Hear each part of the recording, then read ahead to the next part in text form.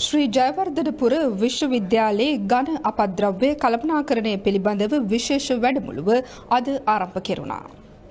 ශ්‍රී ජයවර්ධනපුර විශ්වවිද්‍යාලයේ තිරසාරණය සඳහා කේන්ද්‍රයයි වැඩමුළුව සංවිධාන කළේ.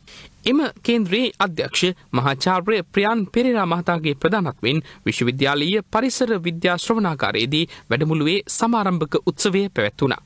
ගණ අපද්‍රව්‍ය කළමනාකරණය පිළිබඳ දැනුවත් කිරීමට පරිසර අධිකාරයේ නිලධාරීන් සහ එම ක්ෂේත්‍රයේ ප්‍රවීණින් රැසක් එක්ව සිටියා. වැඩමුළුව දින හතරක් පුරා පැවැත්වෙනවා.